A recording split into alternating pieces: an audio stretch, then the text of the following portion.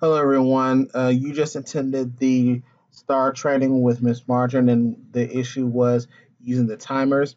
Um, from a technology standpoint, I am requiring and actually re- highly recommending that you do not use anything that is online.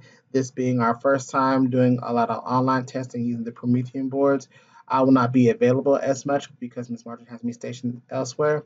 So anything that is online related, as far as testing is concerned, especially with the online timers, we are going to hold off on that. So I'm showing you right now the screen that replicates your Promethean board so you can find a timer that is offline. Here's how you can find it.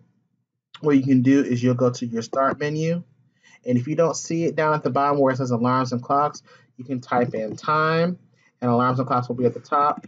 You can type in clock and it'll also be there.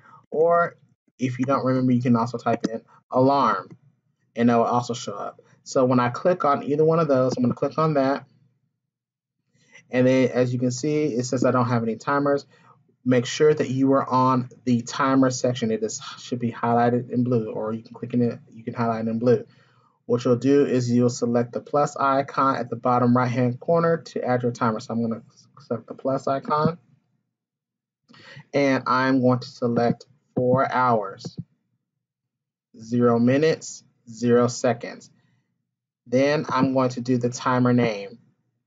I'll call this one star.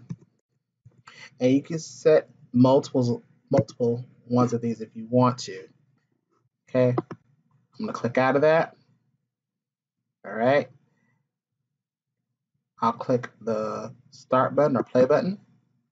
And as you can see, the timer has already started. Okay, so this is already saved. I'm going to stop this for the moment. And I'm going to reset it. So it's at zero. Now I'm going to do two things. I'm going to pin it to my taskbar and I'm going to pin it to the window. So it could be in both places. So I'm going to go to the bottom right hand corner where the thumbtack is and I'm going to pin that to the start. It's going to ask I want that to be in the start section of the tiles, select yes. Then I'm also going to go to the taskbar and right click to where I want to pin it on the taskbar. This way it's easy to find. Okay. Now, if you want to check to see if it's there, go to the start uh, button, uh, bottom left hand corner, and as you can see on the tile, it'll say timer. Okay. Now, also it will be on the taskbar if you've pinned it. Now, let's say that I am ready to uh, start this timer. Obviously, this is too small for people to see. If you click on the expand button, the two arrows, it will be in big and blue, and all you gotta do is press the start button. And your timer is there and it's offline for you, ready to go. If, if you need to reset it, you can reset it.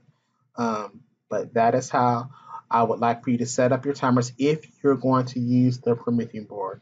Again, if you have other timers that are not online related, um, that is fine too, but we want to stick to not using as much um, network internet access as possible. If you have any questions, feel free to talk to me, and I will see you soon. Thank you.